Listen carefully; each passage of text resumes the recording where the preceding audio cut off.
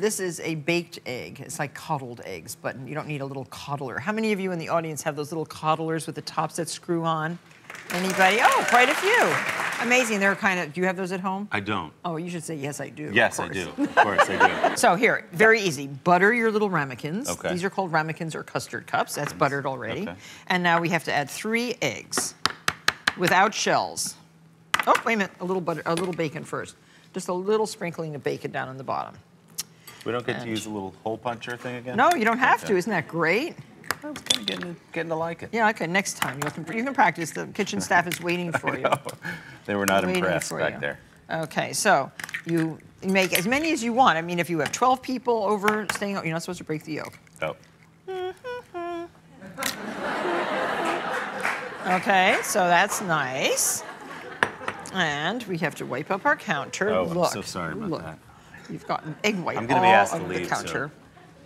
And now, um, can you pour the hot water in there into the pan without getting it into the custard cup? Yes. Yes. I say that. Yes.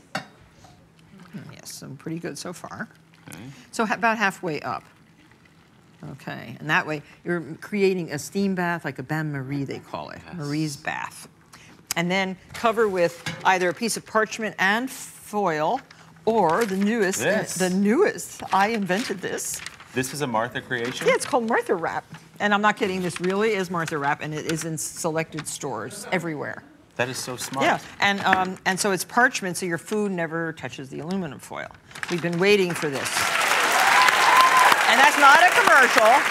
But look, it, it, it actually crimps. But it's hard to get aluminum foil to crimp if you have parchment. But we figured We out a way. way. Yes. So that goes into a 375 degree oven for 20 minutes. Okay. Okay. Make believe it's in the Leave it oven. there, yeah. They, it comes out, and this is what it looks like. See, partially cooked.